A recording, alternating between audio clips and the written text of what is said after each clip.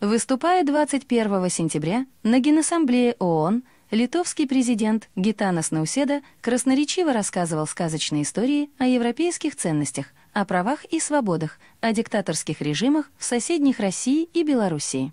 Вишенкой на торте раболепного почитателя западных ценностей и исполнителя американской воли стал тезис о том, что Литва полностью поддерживает призывы к уважению прав человека во всех странах. В миграционном кризисе на литовско-белорусской границе, о надвигающейся энергетической катастрофе, которая стала следствием агрессивно-русофобской и антибелорусской политики Вильнюса, не было сказано ни единого здравого слова. Все те же клишированные обвинения во всех своих бедах восточных соседей не удивили ровным счетом никого. Да и информация, раз за разом попадающая в СМИ, на фоне громких заверений в полной приверженности соблюдению прав и свобод человека действительно удивляет, мягко говоря. Так, утром 27 сентября на одном из пограничных участков Гродненской области белорусскими пограничниками был найден мужчина. Мигрант, он же человек, чьи права клялся защищать Науседа с трибуны ООН, звал на помощь, в прямом смысле, валяясь на линии литовской границы. Литовские силовики, они же инструменты Науседы, которые должны помогать президенту притворять в жизнь лозунги по защите прав человека, стояли неподалеку и наблюдали за страданиями беженца. Белорусские пограничники, осмотрев больного, определили перелом ноги и незамедлительно вызвали медиков. Пока жертва демократического литовского режима вместе с белорусскими правоохранителями дожидались приезда скорой помощи, мигрант поведал о своих приключениях в одной из самых демократичных и свободолюбивых стране. Стране, которая считает своим долгом бороться за демократию во всех странах мира, кроме своей.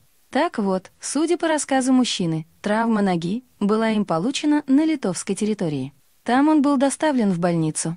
Но, по всей видимости, открытый перелом ноги сочли недостаточно серьезной угрозой здоровью и бедолагу, в ответ на его просьбы о присвоении ему статуса беженца отвезли обратно на границу и просто выкинули из машины в заросли. Вот она, сила западных ценностей и персональной литовской демократии.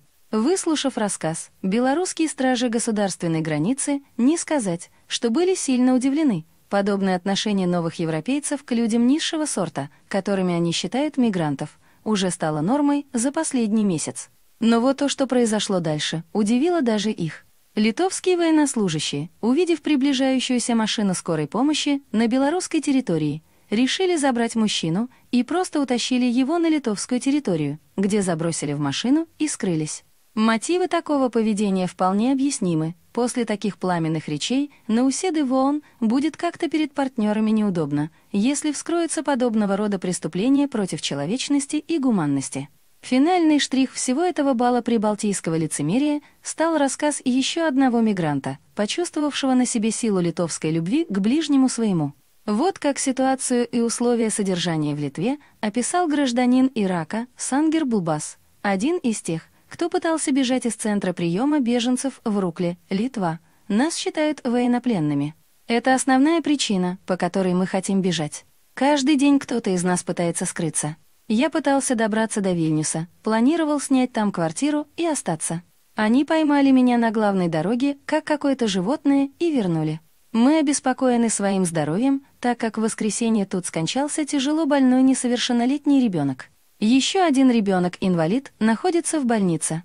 Подобные рассказы вызывают шок. В 2021 году в центре Европы, на территории одного из самых сочувствующих демократии государств, творится изуверский ужас.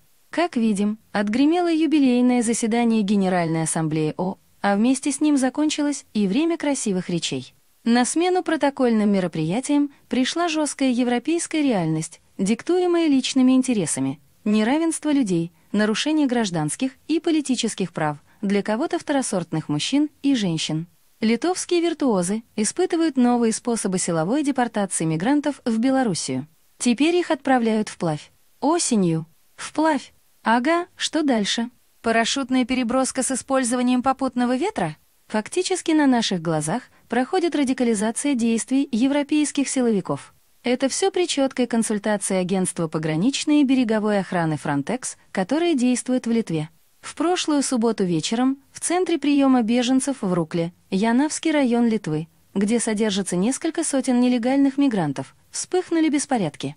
Они были жестоко подавлены, но не полицией, а сотрудниками службы общественной безопасности.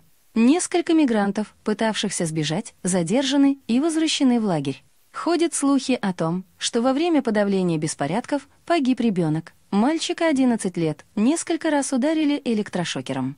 Его отвезли в больницу, где он и умер. К слову, в преамбуле к уставу ООН черным по белому написано «Мы, народы Объединенных Наций, преисполненные решимости вновь утвердить веру в основные права человека, в достоинство и ценность человеческой личности, в равноправие мужчин и женщин и в равенство прав больших и малых наций, и создать условия, при которых могут соблюдаться справедливость и уважение.